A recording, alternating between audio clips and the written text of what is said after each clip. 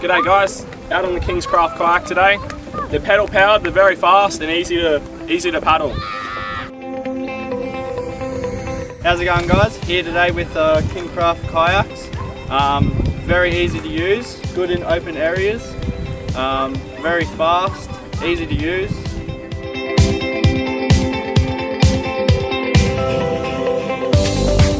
Been out today on the new Kings Kraft kayaks which are available through Dragon Kayak. They're extremely stable, easy to pedal, great for fishing.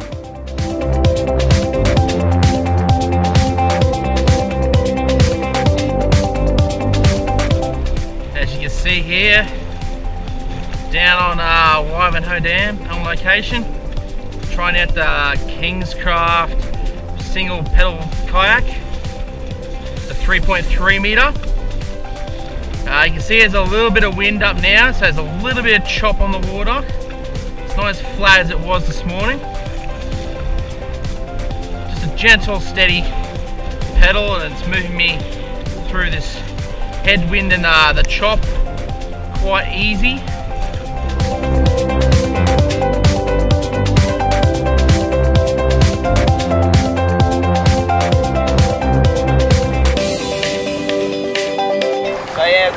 Uh, Kings Kraft kayak out for a test paddle today and um, pretty surprised. It uh, gets along pretty easily. It's quite different using your legs than using your arms, but uh, it moves you a hell of a lot faster, that's for sure.